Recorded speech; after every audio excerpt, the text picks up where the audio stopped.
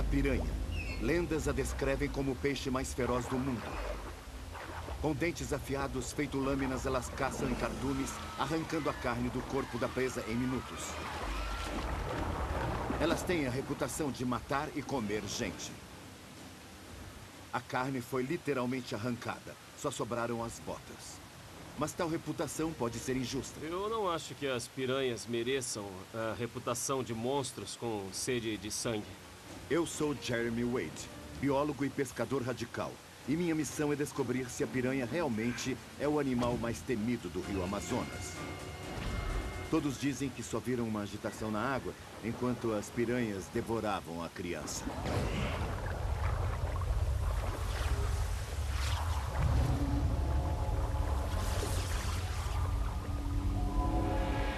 Monstros do Rio. Piranha.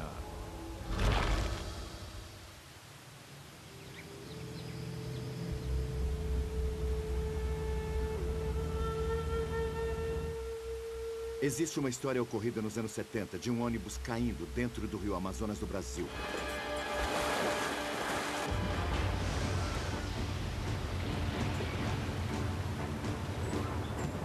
Os passageiros foram devorados vivos por piranhas.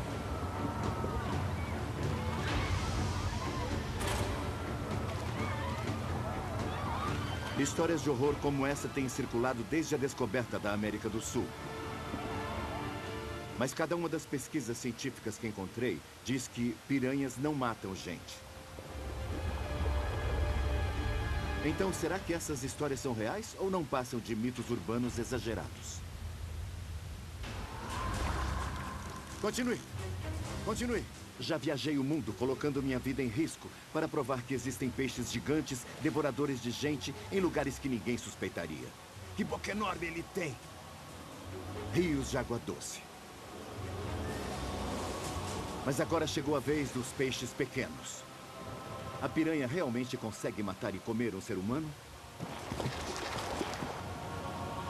Ela é a assassina sanguinária que vemos nos filmes e que povoam nossos pesadelos?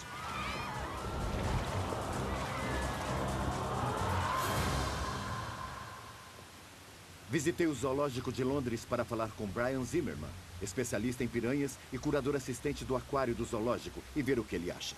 Não existem casos documentados de uma pessoa que tenha entrado na água é, ter sido atacada por um cardume de piranhas e reduzida a um monte de ossos em segundos.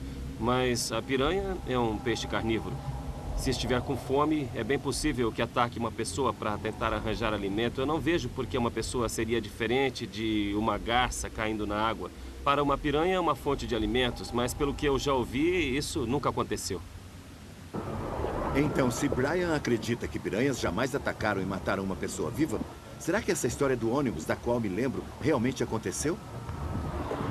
Resolvi ir até Manaus, a cidade no coração do Amazonas, para ver se consigo chegar ao fundo dessa história e talvez encontrar um caso concreto de piranhas comendo uma pessoa viva.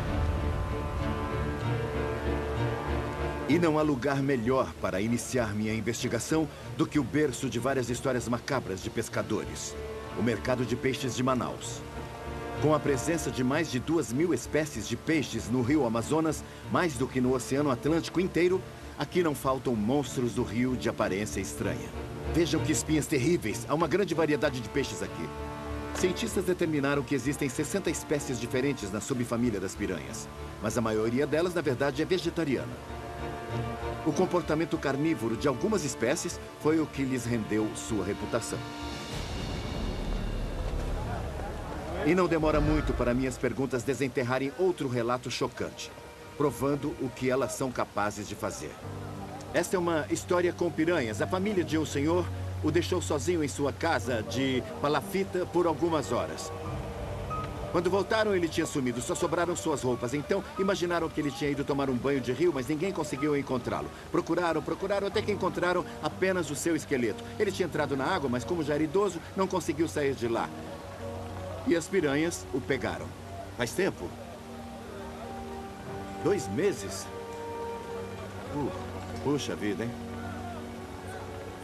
Outra história horripilante. Mas aqui no mercado não consigo descobrir o nome da vítima ou o local certo dessa história de pescador. Terei de investigar mais além e encontrar uma testemunha ocular de um ataque letal de piranhas. O rio Amazonas tem 6.800 quilômetros de extensão. O dobro do comprimento do rio Mississippi. Suas margens são distantes e suas águas são lentas. Mas nesse distante afluente é o contrário. Um quinto de todo o volume de água da Terra passa pelo Amazonas. E a piranha e seus familiares podem ser encontrados em praticamente toda a sua extensão. É o paraíso dos pescadores. E está repleto de monstros do rio. Tem um peixe ali. Tá ali, tá saltando para fora d'água. Que peixe forte. Fisguei um peixe predatório com uma arcada de dentes que parece ter saído de um filme de terror.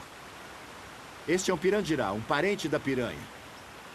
É uma verdadeira guerra dentro d'água. Tudo aqui tem dentes. Todo mundo devora todo mundo. E eles têm essas presas na mandíbula inferior. Eles utilizam essas presas para perfurar a bexiga natatória da vítima, atrapalhando sua flutuação. O peixe menor fica totalmente atordoado. Eles ficam se debatendo na superfície e esse peixe aparece e vai engolindo todos eles.